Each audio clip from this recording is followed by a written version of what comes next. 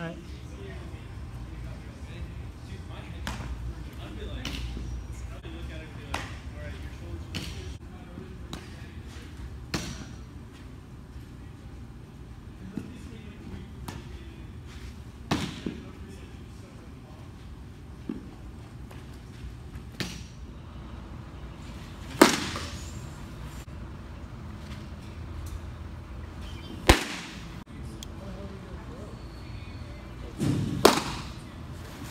No, it's nice for baseball, but I got it for.